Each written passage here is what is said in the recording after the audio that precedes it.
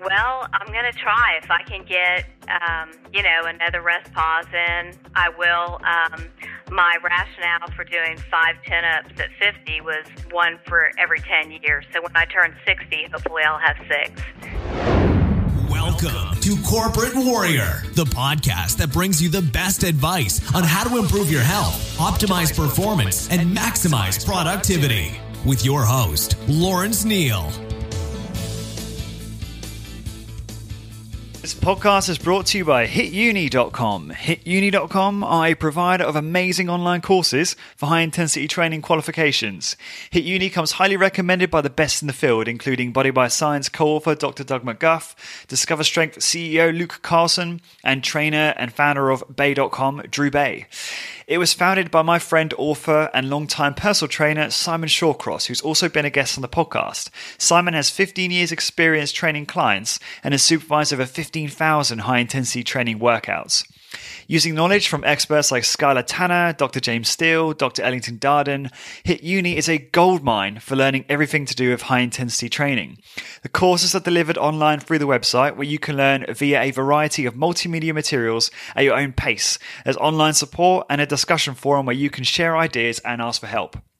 To learn more about high intensity training and improve my own results, I started their personal trainer course. The content is amazing, the courses are really easy to follow, and each section is organized into bite sized chunks that give you a real sense of achievement after you complete each one.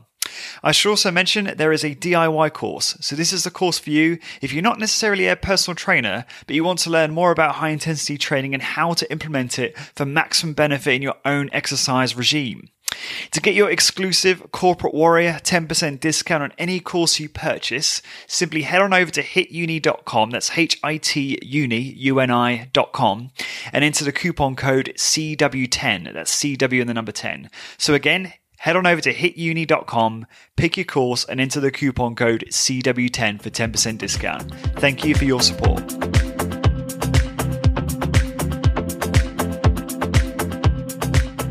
Hi guys, I am Lawrence Neal and welcome to another episode of Corporate Warrior. I'm coming at you on a beautiful sunny morning in Galway in Ireland.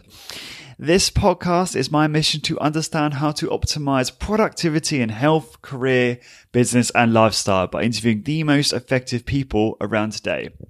My guests include zero carb world record holders like Shawn Baker, medical physicians like Ted Naiman, health and fitness giants like Robb Wolf and Mark Sisson, high intensity training authors like Dr. Doug McGuff, exercise scientists, New York Times bestselling authors, highly successful business owners, startup founders, and many, many more. Today's guest is Wendy McGuff, who is the wife of Dr. Doug McGuff, who you probably recognize quite well and has been on the podcast multiple times. Wendy trained at the University of Texas Health Science Center in San Antonio to become a registered dental hygienist. She worked in the field of dental hygiene full and part time, and after moving to Seneca, South Carolina, Wendy attended Clemson University and achieved a Bachelor of Arts majoring in history. She worked for a local historic foundation until her and Doug had children. Doug and Wendy met shortly after she turned 17 and have enjoyed a shared interest in physical fitness, health, and longevity. Many of their first dates consisted of playing tennis and lifting weights at the Olympic gym in San Antonio, no surprise there. And at the time when they met, Wendy was a lifeguard and water safety instructor. Her love of physical activity has been lifelong. I was very excited to speak to Wendy for a number of reasons. I wanted to change the dynamic and invite more women onto the show to learn more from a woman's perspective. So, with that in mind, my girlfriend Ashling actually joins me as a co host, and we interviewed Wendy together, which was a very fun experiment. I thought it'd be a good idea to have Ash co host, since she is more likely to ask questions that are more pertinent to the female listeners. Um, Wendy is very, very interesting and a very driven individual, um, and this is an excellent introduction for high intensity training from a women's perspective, um, especially if you are a woman or man, it really doesn't matter, I suppose, who has a very busy life that ebbs and flows. Um, she is in excellent physical condition. She looks fantastic. She's in her 50s and she starts her workouts off with super slow chin ups. Um, I don't know any women on the planet who are in such elite physical condition at her age. Um, this was really fun for both Ash and I. And like many of you, I am a big Dr. Doug McGuff fanboy. So it was also fun to learn about their relationship and the home dynamic, which I'm sure, uh, well, I'm, I'm, assuming some of you are, are, perhaps quite curious about, maybe not as curious as I am. Um, in this episode, we cover Wendy's workout routine in detail. So that includes a current routine, a schedule, motivation, uh, workout frequency, protocol, supplemental activity, etc. And we talk about time management. You know, how does she do it all? How does she fit in her workouts around looking after the kids and uh, helping Doug? Um, we talk about her diet. Like, what does she eat day to day? How does she manage to stay away from junk food? You know, when she does eat junk, how does she manage it? Is she mindful about it? All of that type of stuff. You know, how does she stay lean? Um, we talk about their relationship. You know, how do you how do you create a successful relationship that lasts thirty years or, or over thirty years? I think in their case, um, and we do get some very valuable relationship relationship advice. We talk about what it was like when her and Doug first met Arthur Jones, and much, much more than that. So, for all the show notes and links for this episode and all episodes, please go to the usual place, which is 15minutecorporatewarrior.com forward slash podcast. That's the number one five, and then all spelled out minutescorporatewarrior.com forward slash podcast. And at the end, don't forget to hang around for your free gift. So, without further ado, please enjoy this podcast with the one and only Wendy McGuff. Uh, Wendy, welcome to Corporate Warrior. Thank you for taking the time to come onto this uh, experimental podcast today. Thank you so much for having me. No worries. Um, so I'm going to let Ashling start things off, and she's going to ask you some questions about exercise. Wonderful. Hi, Wendy. Um, for me, when I'm doing high intensity training, it's all about getting there. I find it really tough to get the motivation to actually go. Um, once I'm there, I love it. Once it's over, I love it. But what motivates you to like get up and go work out? Okay. Um, well, I like everything about it. Um, that's what motivates me. I get there. I like the mental effort and the concentration that it takes to do the movement. I like the um, just the freedom being away from everything and it's just me and the machine and pushing weight. And i love the feeling of um, being able to move weight over time and feeling efficacious. So that's what keeps me in it. Um, i know as women it's difficult because you're pulled in a million different directions as most people are and it doesn't matter your age or what you have going on in your life. It just seems like that's where we're at. So getting there is is good for me because when I get there, I'm away from everything else and I'm doing what I'm there to do, and it's just a complete mental um, release for me. Yeah, it's like being in the zone once you're there. Absolutely. Yeah. Yes. And just really enjoying that moment. And I've heard um, similar comments over and over. It's just the getting there, but once I'm there, it's great, and then then it's over, and I'm just so relieved that you know I've done the work and and now I'm on to something else. But um, just focusing on the fact that it's just such an amazing thing to get in a place where you can perform that kind of work. And there's nowhere else in my life that can emulate that. I can't go to a commercial gym and get that experience of just, you know, you hear the hum of the fans, you're by yourself and you're doing the work. And that's what I really like. Yeah. So, so what's your what's your current routine, Wendy? Okay, my current routine is um, what I've been doing basically for years is basic four exercises. That's all I do on Med-X and Super Slow. And I start out with a chest press, I do a pull down, overhead press, and then I do the leg press. And you've seen probably on Instagram, I like to throw in, I love, love, love to do chin ups. I mean, I just, oh, okay. and I, I, I love that feeling of doing a chin up, and I love push ups too. So, you know, sometimes I'll start out with chin ups and I'll just do as many as I can get through. Sometimes I can get through four, sometimes I can get through five. Um, right now, what I'm loving is rest pause. When I get to the four and a half mark, or maybe four and three quarters, and I'm almost at the bar, I come down really as slow as I can come down off that last rep. And then I sit there for like maybe a minute and then go into that next chin up and then the next really slow rep down. So the negative's really slow, and then I'll do one more. And like you, celebrating your birthday today, I just had a birthday. so my birthday um, was, I was turning 53. So I thought, okay, before I turn 50, I want to do five chin ups. That was the goal. You know, I just want to get there.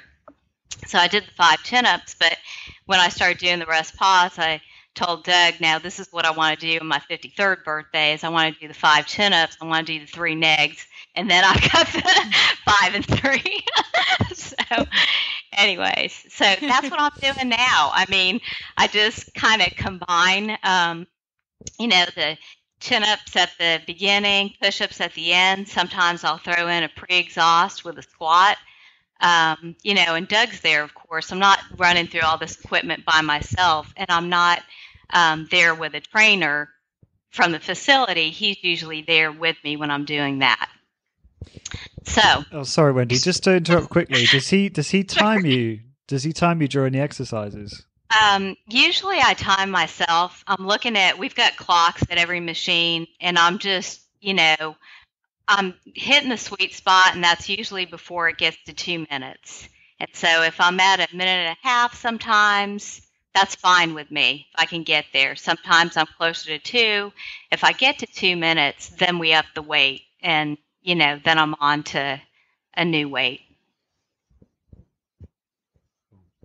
Do you ask question or do I? No, yeah. Um, and I was actually just talking to uh, John Little earlier today. Um, yeah. You probably know quite well. Uh, and he was telling me that you work out once every two weeks. Is that true? Or, or have you, is, what is your frequency at the moment? That is a great question because for years that's where I was at. I was working out once every two weeks. When I had the kids being small and I was exhausted most of the time, and this is a really good point for women, for people who are busy, just to be flexible because when I had two kids under the age of two and a rotating schedule with Doug working five shifts that rotate every day, the sleep was just deprivation was high and I could not balance the recovery with what I had going on with our lifestyle, with kids being young. And this went on for years. I mean, it hasn't been until the last two and a half years up to the past two and a half years. Now I'm working out. When I work at the facility, I'm working out every seven to 10 days. It just depends. And I'm always judging how am I feeling? You know, my, did I get enough rest? That seems to be a big one for me. If I have a sleep deficit, then, you know, I'm not going to do as well with recovery. And so that was um, absolutely the case for years. And that is pretty much unheard of for most people. Cool. Did you say it was your? Sorry if I misunderstood this. Did you say it was your birthday today? No, my oh. birthday was on the thirtieth. Oh so, right. Yeah. Oh, okay. 30, 30, oh, so it's just gone. Sorry. Yes. okay. Yes. And, and, so, are you going to do? So, for your next birthday, will you set some new goals then for for the gym? Well, I'm going to try if I can get um, you know, another rest pause in. I will. Um, my rationale for doing five chin ups at 50 was one for every 10 years. So when I turn 60, hopefully I'll have six. I love that. That's, that's so unusual to hear. You don't often hear like you know people setting challenging goals like that at their birthday. Birthday's are normally a, a, a relaxing, fun time where people are stuffing their face with cake. Well, I've done my share of that in the past few days, sure. So. Um, but feel free to jump in, Ash, at any point. Uh, what? So, okay, so as as a alongside your uh, high intensity training, what other exercise or physical activities do you participate um, in uh, in a solo yourself or as a family these days? What I like to do right now is swim, and you know I'll I'll do, you know, 25 laps in the pool. It's not an Olympic sized pool. One lap is there and back. So I'll do that maybe three times a week. Um, if I have a friend that wants to go walking, I'll walk. It depends on the season. Basically, I use whatever I have available at the time. I mean, I just try to stay flexible. If we're hiking in the fall, that's what we like to do as a family. Walking, we like to do as a family. Sometimes I'm accused of taking them on a too long of a march.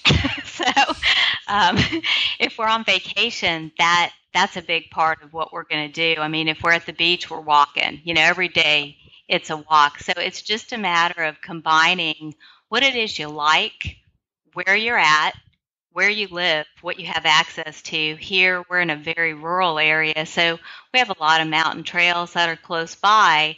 Not that I access them as much as I thought we would when we moved here, but I mean, we do have that available and we do um, access that as a family. And then with the university close by, we tend to go to the university and access, um, there are a lot of areas to walk there. So walking, hiking, swimming tends to be um, the biggies. Cool. Uh, I think Ash had a question related to your sort of time management side of things. Did Yeah. You wanna... Yeah. Uh, one of the questions I had written down was how do you manage with, you know, you have two children, you're working, you're also trying to like help Doug, and then you still manage to work out. Um, so it's just kind of like, how do you kind of manage your day? Do you sit down and decide, you know, on a Sunday night what you're going to do throughout the week, or is it just a day to day thing? That's an, another really great question. What I found is it tends to be um, what I'll do is I'll look at Doug's schedule for the week, and then I look at the kids' schedule. And even if I plan something, sometimes it doesn't work out because something's going to come up. And once again, it's all about being flexible. Um, I'd say I work out every se- Oh, we just lost you. Sorry, we can we can edit And- this. Oh, and- you just you just cut out there for a second, Wendy. For a Can you just repeat Wendy. the last just sort of repeat ten the- seconds? Okay. Um, basically, just looking at Doug's schedule, I try to schedule what I have going during the week, but oftentimes I have to adjust. And it works out because I'm not spending more than 20 minutes there at Ultimate Exercise, so I can I can make it work. So that's usually how I negotiate everybody's schedule. Can, can I ask? Actually, no. I'll, I'll save this one till later. But um, I'll let Ash ask a question about diet. Which yeah. Sure. So I was previously following the slow carb um, diet, but I found it very hard because I'm also a vegetarian. Um, so I wanted to kind of know how you manage as well your day to day diet. Do you have cheat meals or do you just have like a day at the weekend that you have a cheat kind of day? Anything like that? Okay, well, diet, I have come to different understandings as I've gotten older of what I can and can't get away with. I'm five feet tall. Doesn't give me a lot of room for error here. You know, I mean, if I put on five pounds, I really feel it. I mean, it's just like a ton of weight. Um, and, you know, to someone else, they'd say, oh, wow, five pounds, you know, cry me a river. But, you know, five pounds on a five foot frame is a lot. So basically, you know, I've never done the intermittent fasting up until the last couple of weeks. That's something that I'm incorporating. I'm doing twice a week now. Um, I have never done completely restrictive with the carbs, although I don't go out of my way to eat carbs. It's not one of those things that I create. You know, it's like my go to food. Um, But my go to food, and especially when the kids were younger, was sugar. And I couldn't get enough of it. And um, so that's where I kind of started with the diet. I started looking at what I was doing when the kids were younger, in particular, because it was tough to balance all this stuff. And if there was a bag of something around, I was in it. And so I had to start out somewhere. So I started out with sugar, basically, and started eliminating that. started looking at, you know, where am I getting the extra food during the day? And if it came out of a bag or a box, that was a big problem for me because with kids, a lot of stuff the kids are going to eat is going to come out of a bag or a box. And I wanted quick energy to combat the fatigue, and it was coming from those sources. So I started eliminating as much as I could that mentality of bag and box and sugar. I started out with the sugar first, just started it eliminating it from my coffee. That was just the one thing. You know, if I can just get rid of the sugar that I'm adding every morning to my coffee. And then it kind of snowballed from there, and I haven't had that craving for sugar like I used to.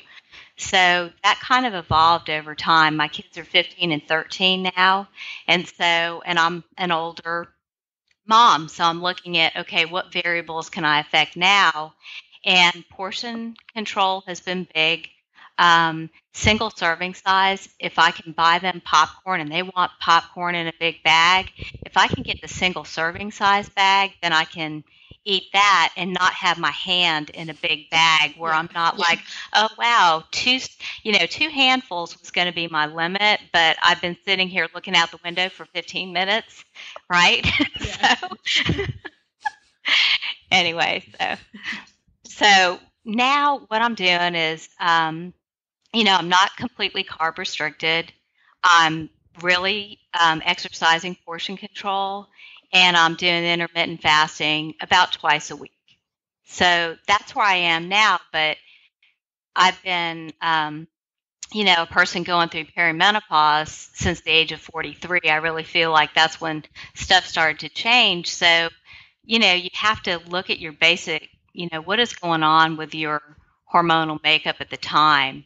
And so now that I'm 53, I'm taking another look at it because, you know, a lot of people that I know are like, well, you're just going to have to come to a realization that, you know, your hormonal environment is such now that you're not going to be able to lose the weight. You're not going to be able to maintain. And I take that as a challenge. So I'm like, okay, well, you know, this is a new phase and I'm going to experiment, see where it takes me. Yeah, that's a good way to look at it as a challenge rather than something that just stops you from kind of pursuing your goals. Uh, I know, especially when I'm hormonal, like during the different times of the month, like that's when I'm different. I don't go for sugar, I go for carbs. So yeah. I'll sit down with the whole bowl of roast potatoes and just eat that. So I understand the whole portion control. It's a really good idea. Sure. And then, you know, when you're putting on all this muscle and then you're putting on fat, and then you have what you're talking about that, you know, week before where your appetite gets to be a little bit crazy, what you're craving's a little crazy. Maybe you're eating a lot more sodium than you normally would and you're already feeling bloated. Yeah. And that's yeah. the case. I mean, it's salty sweet. Everybody I talk to, salty sweet. That's all they want, you know?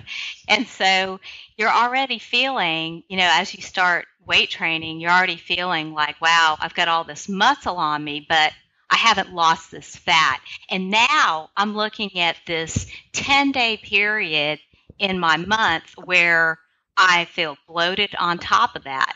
And so this is what I talk to women about all the time. It's just like, how do you balance that feeling? You know, this is how my clothes fit right now.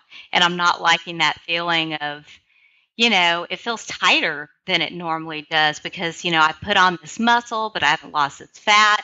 And so as you go through, I guess the point I'm trying to make is that it's a balance in so many realms between lifestyle, where you are in age, um, and what you like what you said you crave a particular thing someone else might crave something else. And how are you as an individual going to come to the decisions that work for you? Yeah definitely. Yeah, definitely. What so i know you've described like um kind of your your preferences wendy and like you know th- that you do things like intermittent fasting. But can you give us like what does a snapshot of an average day look like from a meal perspective Okay. Um, like today, what I had at one o'clock was I'll usually have berries of some sort. Um, you know, blackberries, blueberries. Right now they're in season, so fruits that are in season I'll cut up. Like right now we have peaches. So, but today I had blackberries, blueberries. I had two handfuls of almonds. I had um, we had these single serving guacamole, and I got to have crunch. So I get these wheat crackers, and and then I can change my lunch around to I can do tuna with berries. Today I did guac with the crackers. Usually I do tuna with the crackers and berries and maybe a little bit of cheese. I haven't been doing really high on the dairy, but that was basically basically my lunch was almonds, um, blackberry, blueberry, the wheat crackers that I get, and then the guacamole. So I try to get you know good fat in there, um, some protein, and you know a fruit, and you know I'm getting my sugar right. I have yeah. totally given it. so um, that's lunch and dinner. You know, like last night um, we fixed steaks, grass fed. You know, that's usually what I get is the grass fed steaks. Um, I had that. I had I split a potato, a small potato, with my daughter. You know, that's my cart. You know, I'm not looking for it, but I'll have it. So I had potato, and then I had peas, and that was it for dinner. So when I was really at the point, um, maybe four years ago, where I was feeling like I need to really watch with the sugar and everything else, um, I would stop eating by six o'clock. So even though I wasn't experimenting with intermittent fasting, I put a limit, you know, after six, no grazing. So I did that for a while. So, you know, I can tell you this is what I'm doing right now, but depending upon what stage I've been at, I've tried different things. Do you um do you still eat like junk food occasionally, Wendy? Do you have like like Ash was saying, do you like designate days or are you like mindful about that? Or will you just try and yeah. steer away from it? No, I'm very mindful of that. um, usually I have chocolate, you know, up until the last couple of weeks. Of course, having a birthday makes you kind of reassess where you're at with the chocolate. But, um, you know, a couple of pieces of chocolate every day. Every day. I mean, can't go without it. Just little, you know, fun size Hershey's is my go to thing. But, um, also I had there's this chocolate and I'm a sucker for toffee and milk chocolate. and I'm not going to tell you I'm eating dark chocolate because I'm not.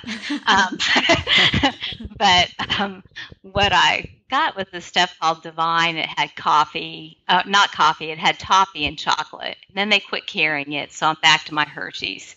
So I'd have you know a couple of break off a couple of um, rows of the divine and so i would feel like you know i wasn't completely without sugar.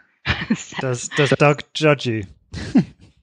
Does doug judge me? Well you know i you know sometimes you can feel that way because Doug is so disciplined and always has been. I mean, he's like one of the most disciplined people I know.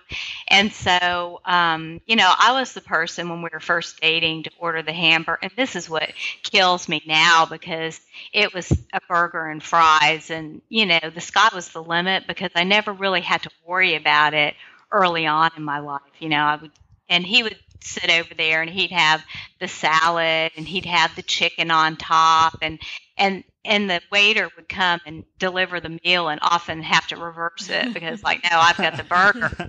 So he's kind of i mean just desserts i guess. So now at this stage of my life i can't be that person that just goes and gets the burger and fries and you know and yeah i want a malted milkshake too on top of it. It's just not working my issue is the opposite lawrence can eat whatever he wants so he could have Oh. Burgers, fries, everything. Yeah. And he like still has a six pack. And I yep. have, you know, a sweet potato with my dinner and I'm bloated. You know what yep. I mean? So yes. I have the opposite. And usually I'm the one who says no to eating snacks. He's the uh-huh. one who is loving the donuts and things like that. So Well, that, I mean, it's just tough. I mean, that's tough. And you can help each other out, keep each other honest. You know, um, right now, Doug's not a saint either. You know, I mm-hmm. mean, he will stand at the pantry and, you know, be eating something out of a bag because the kids, I mean, if you saw my shopping cart, you would think, who are you feeding? But I have the 15 year old is a carb hound, admittedly so. I mean, he, you know, if you looked at my shopping cart, you would think this lady does not practice what she preaches because it's full of carbs. So, anyways, so our pantry has all this stuff for the kids. And in a stressful environment that Doug works in, he'll come home and he'll be talking about something, stand there at the pantry and start eating. And I'm just looking at him like, okay, you're stressed and you're eating. And he's like, yeah, you're right. Then he'll put it up. so, um, you know, I mean, if you can support each other in that way, um, but I think that we are dealing with completely different um, types of hormonal environments at different stages. And I think that it would be a mistake to try to compare yourself to him at this point and just focus on, you know, what you can do for you and and not worry so much that because I'll tell you what, all that will catch him later. so you'll already have the great habits. and then he'll be like, Yeah, I remember, because that's where I was at. Because I thought, you know, I was very stubborn. I thought, okay, so I'm 32, right? I'm 32, I'm in my early 30s, I'm still in the prime of life, I'll eat whatever I want. Didn't work out that way. It's like, uh oh, something shifting here. So enjoy your cheeseburger and fries while you can. I shall heed your words. okay. um, I've just totally uh, lost my, my train of thought. But I was going to ask. I was going to ask you another question about diet. Oh, that's it. Um, you, oh, you're obviously I've watched videos of you working out in that Wendy. It's very impressive. I don't think I know many women uh, at your age that that look as good as you do. Um, and I, I, I would say, I mean, like you're saying, there's a there's a little bit of selection bias here, right? You you it sounds like you've been pretty slim your whole life and always been very active. So you've had that that kind of advantage has worked well for you, I guess. But as you say, as you as you get older, it does get harder, and you have to watch it, otherwise you will put on the weight. Is that is that fair to say that? Yes, that's a very accurate. Um, you know, even though I've been active, I like playing sports early you know, in elementary school and middle school. Um, in high school, I played tennis. So, you know, that kind of counterbalanced some of the eating then because I was really super active then because, you know, I didn't have any other responsibilities and I gravitated toward that. Um, and genetically, you know, I think that I take after my dad and he's always put on muscle fairly well. Um, always been a sugar hound as well. So, you know, I've had that example to look at, you know, well, how's his body changing because my, you know, makeup is similar. So, you know, he got away with it for a long time too. But as he approached his 40s and 50s, it became much harder for him as well. So um, that's a very accurate, you know, assessment that you have. It's a matter of being, you know, I've been active my whole life, but that can only get you so far. you know. Yeah, um, no, we've got so we've got a couple of uh, relationship based questions, if you don't mind, um, yeah. and then and then some kind of what I call kind of bonus questions, which are more about more about you. And so, Ash, do you want to? Yeah, so obviously we're a couple, um, yes. and you've been married for it's over three decades now. Yes, absolutely. 32 years. that's amazing. Um, and obviously, you have been through a lot with Doug, uh, going basically growing up together, I imagine. So I just wanted to know if you have any advice for us as a couple and all the couples that are listening out there. Oh my goodness. well, in terms of relationship advice, that is, I mean, it's so like you know, just workout advice is so based on the individuals involved. Um, I guess the best thing to do is just always have each other's back. You know, just always be the advocate for, you know, your partner, and you'll get through just about anything. And and we have. I mean, we've been through. We met each other. You know, I was between my junior and senior year in high school, and he was in um, college, and you know we had to get through all of that. Um, schooling, med school. So we've been through that residency, my getting through dental hygiene school. Um, you know, it's just been changes in medicine, kids. You know, I mean, it's like where do you start, kind of thing. I guess the best thing that you can do is just um, advocate for each other and you know just stay active and involved with one another, you know, um, so that you continue to cultivate interests that you share. that sounds like good advice. Um, I, I, wondered, Wendy, since you know Doug's uh, uh, rise to fame with Body by Science, and um, you know he's he's he's looked at as as being by some people as being the the top mind in exercise in the world right now. Um, there's quite a few people that think that. So does he? Does he? How has that uh, affected the dynamic of your household? Just really interested to know how that, if it has at all. well, um, you know, Doug's passion for exercise and physiology predates me, predates medicine, predates everything. So you know, if you looked at Doug as a person, he, um, you know, his interest in that predominates everything.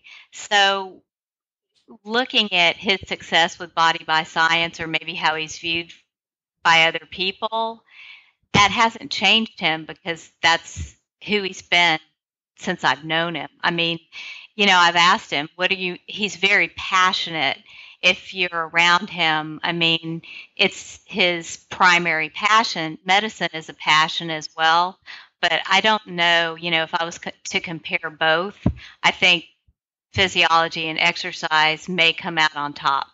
So, as far as the dynamics in our household or how he's affected, it's just who he is. I mean, I don't know how else to describe it. It doesn't affect him. it's just what he does. so it's kind of like a nice way of saying he's quite humble. Is that fair? yeah, I mean, I think he is. I mean, I think I think he spent a lot of time thinking about the subject over many many years, and so in his mind, it's just um, just a continual expression of that interest, and and I don't see that he's affected by what is happened as a result of his passion. Do you, does he ever get recognized when you're out and about or when you travel? Um, no, not really? that I know. not that I, not that I'm aware of. Um, he, it's funny because people in medicine, you know, he'll talk with somebody at the hospital and he'll say, you know, like if there's somebody that's new to the area, they'll say, oh, you wrote that book. So in those instances, yeah, but if we're out and about, no. I mean, we're just, you know, out and about. maybe, maybe to me, he's like he's like way more famous than I give him credit for. there you go. um, okay, so that I guess that that um, begets the question that you never really have to ground him because he's like like you say he's not uh he's not the type to be walking around all big headed about his achievements i suppose. Well, and he's married to me and so probably that i mean if if i was to put him in the stratosphere on some kind of pedestal um that's really not my job. My job is to keep things real. And so, you know, I keep things real all the time. So I don't think that he has, you know, that perspective to just feel like, you know, I'm out here and and, you know, everyone else is is not in the stratosphere. I don't know. Mm-hmm. But no, I'm pretty honest with my assessments and, you know, I think he appreciates it. Yeah, I'm sure he does. Um, something that you touched on earlier was that you have women, obviously, who come into the gym and stuff, ask you questions. Yeah. Um, so what would kind of be the advice you would give someone, particularly a woman who was looking to get into lifting weights or what's kind of something that people have said, like myths that you could possibly dispel that people have about lifting weights? Okay. Um, well, I guess the biggest one is that you're going to bulk up you know, that you need to do a certain form of exercise that will automatically make you look lean or or have some image in your mind about what it is that you're going to achieve by pursuing one form of exercise over another. And the biggest worry with high intensity training is bulking up. I mean, that's what I've heard time and again. And um, to that, I think that I'm not alone. A lot of people address it on the diet side of the equation. It's like, you know, if, if you work with the diet side of the equation, don't think you're going to get into the position of bulking up. Um, and two, you know, can I do it? You know, um, and absolutely, you can do it. You can get behind the weight and you can move it and you can progress and you can be successful at lifting weights. And so I think, I don't know that it's true for all women, but some women have a level of intimidation about the weight and moving the weight. And, um, you know, just being able to get in there and try it and they they understand oh wow this is what i can do i can move this weight i can be efficient um, and then what we had talked about earlier just the whole fat to muscle ratio and and just that body image. I think most women are very concerned in those first few months when they're putting on the muscle and the diet isn't tuned and they're like okay i'm in this no man's land now. I don't like this. And just pushing them through that and saying you know what? Focus on your diet. It's not going to happen overnight it's going to happen over time look at long term not short term and keep on um, using the weight to your advantage because it's enhancing all the other areas of your life. I mean, when you go to the grocery store and you're lifting bags and you know, you can get that cat litter or that 40 pound bag of salt or whatever it is that you have to deal with in your life, or that toddler that just went through a growth spurt that's throwing a tantrum on your hip, that's flipping out back, you know, putting their back backwards, and you're trying to hold on to them, and you feel like, I can, you know, I held on to him. He didn't flip out of my arms at this instant. And, you know, and it sounds silly, but it's just the basic um, basic things you do in your life that makes you feel so more, you know, efficacious, basically. I mean, that as women, we can get out and be strong and do the activities of daily life that propels us to something else, to another interest, to a hike, to stuff maybe you haven't tried before. It just gives you that extra edge. So that's what I would tell them keep on keeping on. Definitely. And I, I think as well from my perspective, like you said, when you're in there and, you know, you do your two minutes and you put up the weight, there's a great sense of achievement when you do that, that I didn't really get from, you know, maybe running on a treadmill or something like that. So yes. it's really great to kind of, you know, you set a goal and you beat it and then, you know, you're on to the next week. So I do think that it's something that everyone should kind of get involved in as well. Yes. And and looking at it from the perspective of longevity, um, there's nothing out there that can touch it. There just isn't. Um, you know, I see so many people when I'm out my daily life that are past 50 that, you know, you can tell they're in decline. Yeah. Um, I see young people in decline right now. And just having the ability to go through daily life and be relevant in the world and in your own life, you have to be strong. You have to be able to take care of business.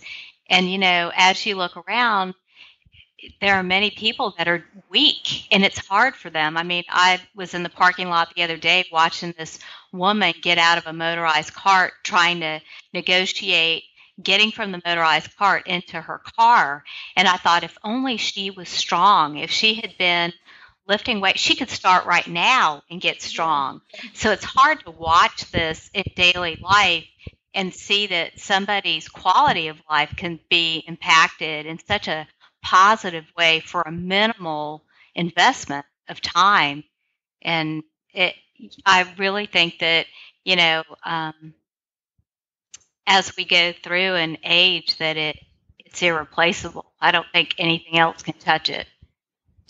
It's heartbreaking. I agree, and you just want to run over and you know like try and convince them to do strength training and It's Yes. it's it's a it's yeah it's it's really strange because um quite often they're I mean I struggle with my um my parents um who are older than you guys and it's just it's just some people are so um stuck in their ways that they won't try something new that regardless of how efficacious it might be which is really annoying um anyway ran over uh i'm just curious were you, when you were pregnant did you were you doing strength training during that time as well no, times? no, I did not. Um, we adopted our son Eric. We had been married 17 years before we adopted him, and I basically had issues with fertility for years. And so when I got pregnant unexpectedly, I thought we were going to build our family through adoption. And um, unexpectedly, I got pregnant with Madeline. And I thought, because of the circumstances that um, you know being unable to conceive i didn't know all the variables that were out there that i might if i miscarried i would think oh it was because i did this because it was such a long time coming um, i got pregnant with her 19 years into our marriage so um, for me, Doug felt completely confident. He said, you know, go train. For me, I just could not go there mentally because I just felt like, you know, if if something happened within the first three months, then I would feel like, did I push the envelope here? So many people do train at that, you know, never have any problem, but I didn't want that to be in my head space if it happened. So no, I did not train during pregnancy. No, but that makes like perfect sense because obviously, even if it was something completely out of your control, you'd always blame it on that if Yeah. that's what you did. And then who's to say, you know, what might have happened? But yeah, I think I we had a friend who trained while she was um, pregnant and it worked out well. But again, Yeah. it's up to the person. Yes. And, you know, the risk factors that might be there, you know, if, if they, you know, have gone through fertility or, or, you know, I had to, I had to um, do a little bit of medical intervention in those first few months just because we were worried that um, a miscarriage was going to happen. And so I was like, okay, well, we're already having to do this, so I'm not going to push the envelope. So, yeah. so it sounds like it was a bit of a miracle for you well, she was very unexpected, I can tell you that. but yeah, Yeah, no, I, I, I completely appreciate your rationale for not wanting to train. Um, and just very interested because I'm always trying to be a better a better boyfriend and more supportive and and trying to get better at that. Hence, hence the reason for this this interview. Um, so okay, great. not the only reason, obviously. Um, but like, did Doug, when you said to Doug, you know, no, I don't feel comfortable training, was he concerned? How did he react to that? Or was he just, did he just trust you that you would do the right thing and, and, and not bother you about it? I'm just really interested to know how that dynamic played itself out because I know I would be annoying. I'd, I'd be saying to Ash, like, no, you must strength train and, yeah, right. you know. Yes, he really didn't push the issue because of what we'd been through as a couple for so long. Um, this was just, you know, a different dynamic. Had it been something else, you know, if I had a broken leg or something, he probably would have said absolutely, you know. But but with this, he he said, you know, no, I understand your rationale, and you know, you will pick up later on, you know, just like you know you're doing now. But I did. I gained a lot of weight during pregnancy. I mean, you can look at YouTube videos, and I'm heavier, you know, back. I don't know how many years ago, but I'm heavier in those because it took me a year to take off the weight. You know, with Matt, I mean, it wasn't like, oh wow, now I have a flat stomach. This is great. Um, it took me a year, uh, you know, and actually being mindful about diet and you know doing my exercise to to get even in the ballpark. In some ways, I didn't even recognize myself. You know, I was like, wow. But I, you know, I wasn't super um, strict with anything during the pregnancy with her. You know, Chips Ahoy were my friend.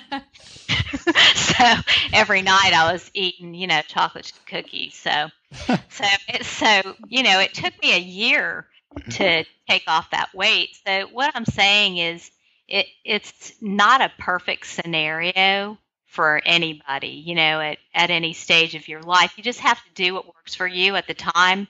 You know, I, I was pregnant and in my mind probably never going to be pregnant again and i was eating the chocolate chip cookies and and i was loving it so that's where yeah, you deserve at. to relax at that stage you're good so anyways but it did it took me a year to take off the weight which wasn't a lot of fun but you know it it was what it was it what was i trying to say it was a situation that i had to deal with i guess um, I'm really, I'm, I'm, glad we're talking about, I guess, the things you, you, you and you and Ashton kind of talking about the concerns that um, you hear from women in terms of like them starting resistance training. I just I want to make sure that we we cover that well. So, is there anything else that you you want to share that frustrates you about? I guess why maybe some of the wider population don't exercise, and maybe that's more relevant to women. I don't know if that makes sense. Well, it does. I mean, I think that that it has to be a priority.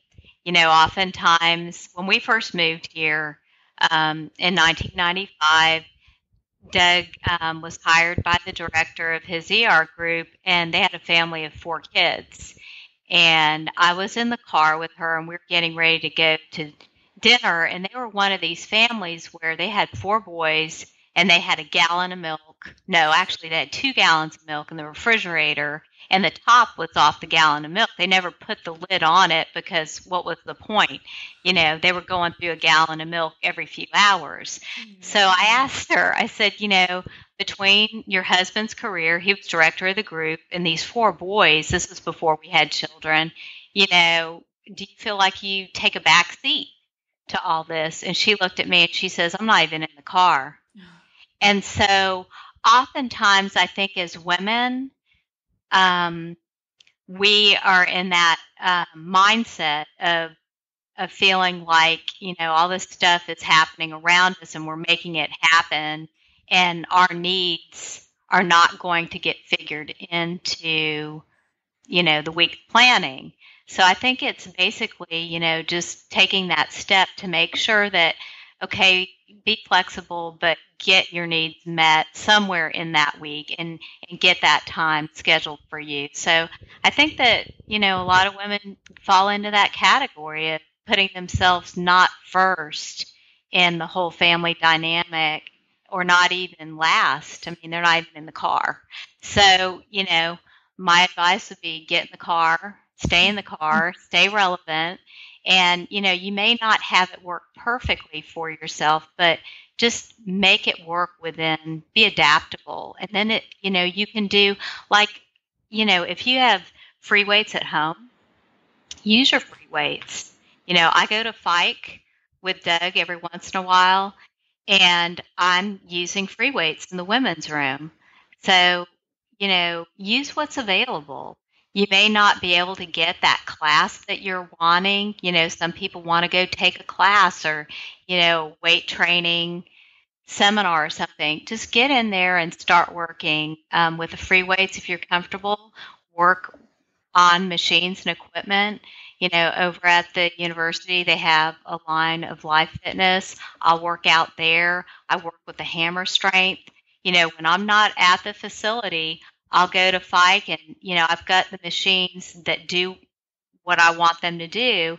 Just find that in your life, you know, whatever is close by. If you have a YMCA, um, if you don't have that and you have an ultimate gym at home, use that. Just use what's available and then work from there. Because as well, like if you're not looking after yourself, you can't look after your four kids and your husband sure. Yeah, you're susceptible as well then to, you know, like you say, being weak or getting ill because you're not looking after yourself. So, yeah, it's really great advice. Sure. Just keeping yourself, um, keeping your training in mind um, and keeping it in the forefront of the planning during the week because it's easy to let it slip when everything's going on. It's like, well, I can put that off until next week, but just make sure you keep it in your week's planning. How does it go? You can't help yourself. You can't help. No. Oh. if, oh. if you can't love yourself, how the hell are you going to love it, somebody else? Do you know what that's from, Wendy? No, I do not. it, it's from this show called RuPaul's Drag Race, which Ashling's addicted to. And oh, okay, I have not seen that. No. You should watch it. It's really good. Okay.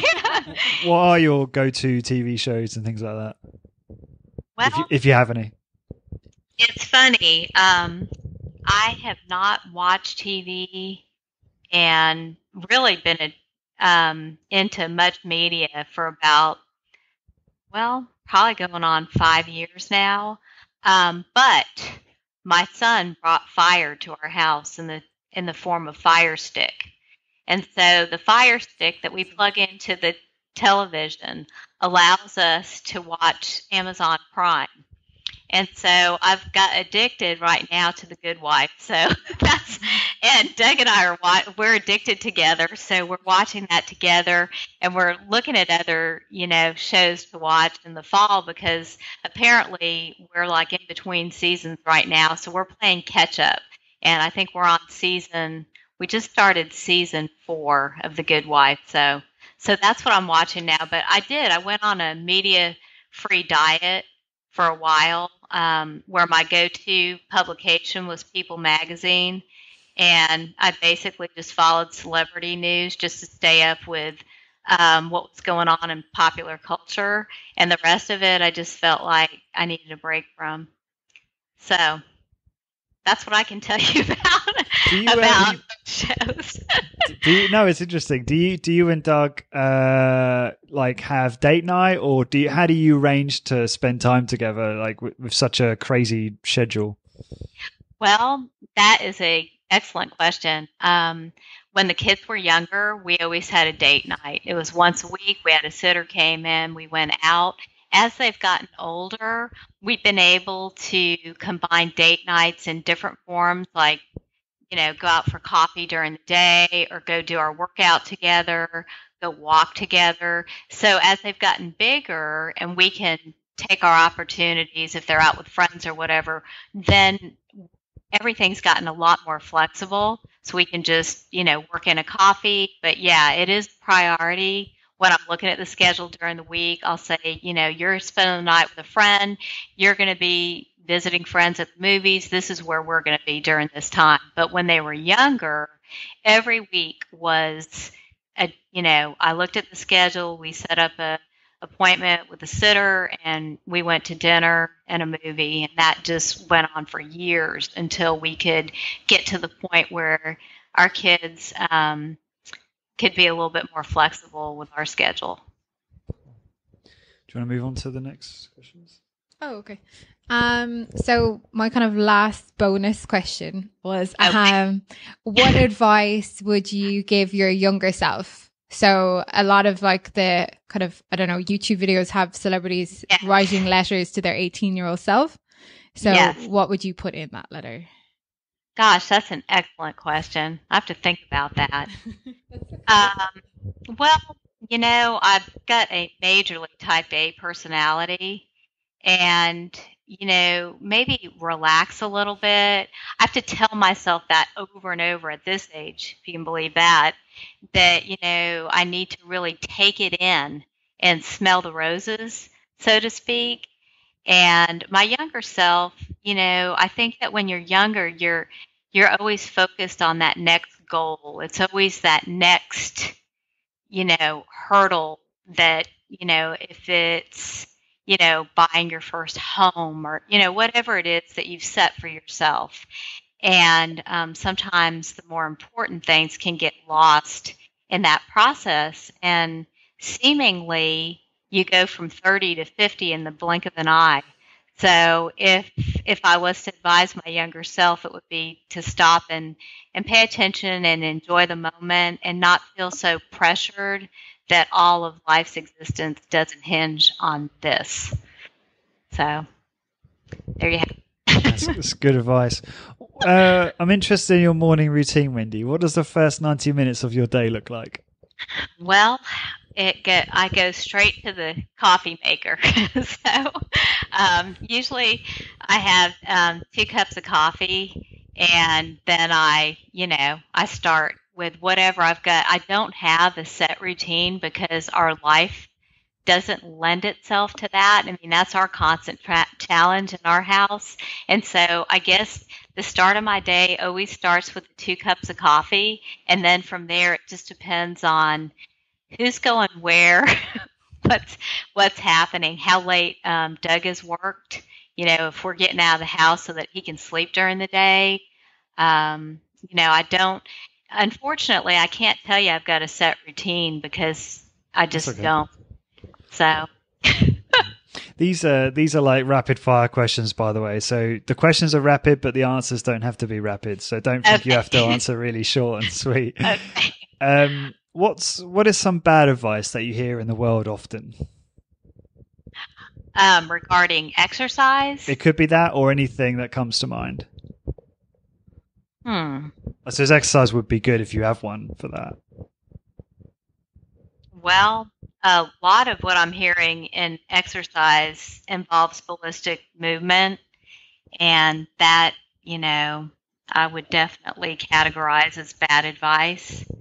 Um, you know, bad advice in terms of trying to give advice and act like your advice is the end all be all advice for any individual.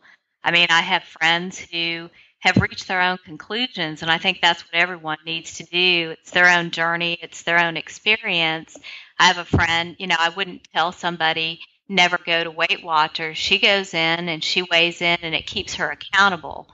So, you know, ballistic movement, to answer your question, ballistic movement would be, you know, bad advice. But, you know, people have all kinds of it, of things that that they would consider bad advice that I'm coming along um, as I age to see that if it works for you as an individual um, and it's not harmful, you know, you're doing it thoughtfully with regard to, you know, if you're walking or lifting weights or whatever chosen activity you have, um, I would I would focus on on not listening to advice, following your own advice. in a roundabout way, that's the answer to the question. I, I mean, I think that everybody, you know, comes to their own conclusion. And when you listen to all this noise all the time, that's where the confusion comes in. And basically, with each person I've ever spoken to about exercise, what it comes down to is they already know what to do. They just haven't decided to do it yet. And so listening to advice and advising good, bad, or whatever, I think that, you know, as as people finding your way through exercise and diet, um, you need to come to your own conclusions. And I think that if you just sat down and thought about it, most people would already know that they have all the answers. They just have to decide to do it. Yeah. yeah. I appreciate what you're saying. I, I would only challenge the exercise component because I still think a lot of people think that they can, you know, run off all of their body fat and they don't see necessarily understand the value of strength training. And I was just thinking, do you get, you know, when you tell other women like what you do for exercise, do they like raise an eyebrow and think, well, why would you do that? Like, do you get a lot of pushback at all? Yes, absolutely. I mean, there are a lot of people that you know are big devotees and in all kinds of different um, endeavors. You know, yoga, Pilates, um, CrossFit. You know, a lot of them love ballistic training. They'll they'll train in the aerobic realm and um, really really feel like they are burning those calories instead of um, instead of looking at it in terms of what are you really doing with this form of exercise. So yeah, I mean, I I wouldn't judge anybody for taking any kind of class that they want to take. But you're right that if they think that by taking a spin class, they can eat themselves out of I mean, they can spend themselves out of their diet. That is absolutely the wrong way of looking at it. But if they're going and they're enjoying it and it's a big release for them, you know, more power to them. I've got lots of friends that do lots of different things, but if they're doing it because they think, okay, well, I can have that half a chocolate cake when I get home, you know, then I would say, no, those are the wrong reasons because you're really not consuming you know, two tablespoons of that chocolate cake by spinning.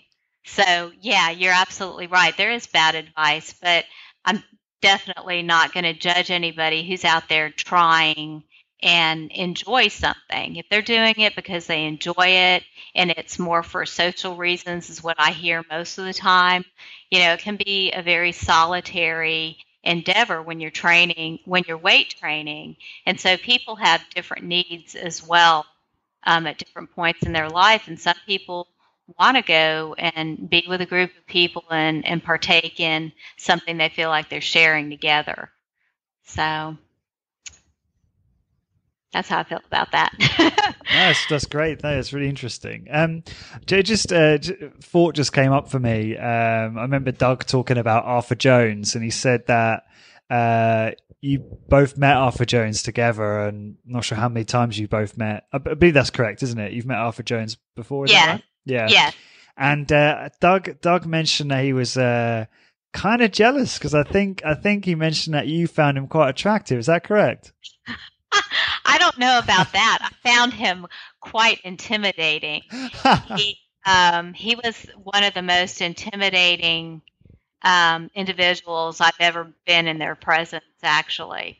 It was somewhat frightening to be around him. Um, he spoke very candidly about anything that came to his mind, and um, he had a very um, intimidating persona. So yeah, he was scary. oh, wow. scary oh. to me. Yeah. So um, no, but his, you know, I've commented to Doug that his younger pictures, when I saw, you know, pictures of Arthur Jones, that he was definitely an attractive man. And in fact, we were um, down in the Keys recently, and they had pictures of Hemingway. And when I saw Hemingway, I was like, oh my gosh, you know, I can see, you could see that um, level of gamesman, kind of the that shared um, level of masculinity in their two personalities. But um, when I was around him personally, much, you know, he was much older, I found him to be very intimidating. Interesting. I know Doug's going to kill me for probably saying that. Um, no. I, I, probably shouldn't have. I might edit it out. I think you're fine. um, okay, so have you got any questions that come to mind, or are you happy for me to go on? Um, I was just going to ask. Uh, I find because when Lawrence is saying, you know, you get pushback from people when you lift weights, uh, I yeah. find that I get a lot of people uh, men mansplain lifting weights yeah. to me. It does the same thing happen to you, even though you're married to Dr. Doug McGuff. You know, um, the common question that I have asked is, "How much weight are you using?" You know, they want to they want me to give them an exact number so that they can see, well, what are you really doing with this? They're they're not impressed by the fact that you know you you partake in high intensity training and they want to know the weight. And i have to tell them truthfully i don't even know the weight that i'm using. You know I, I couldn't tell you what it was and that's not really what the focus is. And so then it's kind of this circular talking. Usually with men that's kind of where it goes. It's kind of like what do you mean you don't know how much weight you're lifting it's like well that's not the point. I'm lifting weights slowly over time and I'm lifting as much weight as I can move under a very limited time frame. And so, just the concept of that seems to be um, met with a lot of skepticism. You were asking that earlier, and I don't think I answered that portion of the question. But yeah, I think men and women are both very skeptical about what is this? This doesn't make any sense. And when you try to explain it, you have to just get to the point where you say, well, you just need to go and try it. And then you can realize that you're not using the weight, you're not flinging the weight into the air and using momentum. You're actually doing some hard physical work and and you're not um, you're not getting away with anything here. So it's not a matter of fly, you know, doing reps very quickly and using all your momentum, you know, that you gain on each rep to push you through. So that that kind of reorients the conversation. Yeah, we've had yep. some um, funny looks sometimes when we've been in a commercial gym doing yeah. kind of slow reps, and yeah. Lawrence has been timing me, and people just think we're weirdos. But that's yeah, yeah. Well, and, they're in in their defense. I mean, they're really curious. It's like, why would you move the weight that slowly? And even you know, like the first YouTube videos that I did at Ultimate Exercise, there were some comments like, "Wow, that's really slow." so like, you know, but what do you do with that? I mean, you just you go, you do what you do. You try to talk to people about, you know, how it could affect their life over time, and you know, you leave it at that. Everybody's going to come to their conclusion eventually it, it seems so obvious to us in terms of the benefits and why it works, but it's uh, it's not obvious to a lot of other people. That's correct. Um, I want to be respectful of your time, Wendy. So I've only got a couple other questions, if that's okay. Okay, that's fine. Yeah. Um, what are you really not very good at? Oh, what am I? Well, patience. One, I'm I'm not very good with patience. I am a very um, impatient person in general. Um, what else am I not good at? Hmm. Patience is number one. Um, you know, I wouldn't say, you know, I wouldn't say I'm a stellar athlete, you know, at all. I just go and do the best I can. I mean, you know, it's not like I'm an Olympic power lift or anything like that. So, you know what I mean? I'm just an average person like everybody else, lifting weights and, and doing what you can do. Um, so, I don't know what else I'm not good at. No, that's I do fine. very few things. So, I do very few things so that I can um, kind of do the things that I take on well. Um, so, I try to eliminate you know, getting in the probably what I'm not good at is risk taking. There you go. I take on I take on few things because I know I can do them well, but I don't venture out into a lot of different things that maybe wouldn't come as naturally to me and it would be more risky to endeavor. So I'm not good at at risk taking in that way. Mm-hmm. Patience and risk taking. A good answer. Um, what books have you reread the most yourself? Well, that's interesting because Doug and I are completely different in that realm in that he'll reread books all the time and me i don't really reread um, i'm reading the little bookshop in paris right now and it's gotten painfully slow for me and i haven't picked it up you know like in a week so you know, I'll get started on a book and sometimes I won't get all the way through. Um, but I have never been one to reread. And, you know, Doug's argument to me is always that, well, I'm always getting another perspective. I'm always learning something new. And for me, it just doesn't hold my interest for whatever reason. And it's the same way with movies. I mean, Doug could, you know, oh my gosh, you know, we can't even get started on this subject, but with his favorite movies, he will have rewatched many times and and I'll come upstairs and you know he's watching X movie again for the 50th time and I'm like, you know what? I just can't do this. So you know, that's very that's uncanny. diverge. Because Ash is laughing because I do the exact same thing. I watch like the same movies over and over. What what movies does Doug watch over and over? Is there any that come to uh, mind? Gosh. Um, you know, I mean, just classic movies. Anything that's classic that's yeah. on TV, he will have seen. Um, you know, I the next time you talk with him, he, he can tell you probably his top three. do you and on and on that, do you remember what books he was rereading? I'm always I'm always trying to understand people's reading lists so I can prioritize my own. Do you remember what he was rereading? Or if you don't know, I can ask him, that's fine. Um, I'm sitting here trying to think of what he has reread most recently. And you would have to ask him that because right now he's got different books going. Usually, when he's reading, he has three different books going, and you know he's at various stages, and they're in various places, and and you would have to ask him. I'm, uh, this is about you, Wendy, not Doug. So I'm, uh, okay. I'm, I'm, trying to get, I'm trying to get the inside scoop on Doug. You see what the stuff he okay. doesn't tell me. So. well, these are good questions, and and he'll, you know, he's he um, loves to read, and you know, he loves to reread. So that would be a good good question for him. Yeah, I'm excited about a, a, part four that hopefully we'll do at some point. Um, yes. Okay, so what's the best way for people to find out more about you, Wendy? And uh, do you have a website or I don't know, no. social media or anything like that?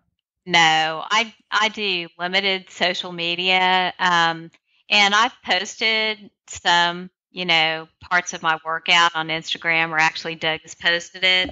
And the reason why I did that is because I wanted women to feel like, you know, this form of exercise is not an exclusive male form of exercise that women can do this and they can do it well.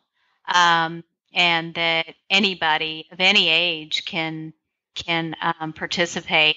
So that's why i have a presence on instagram was mainly you know this is what you can do.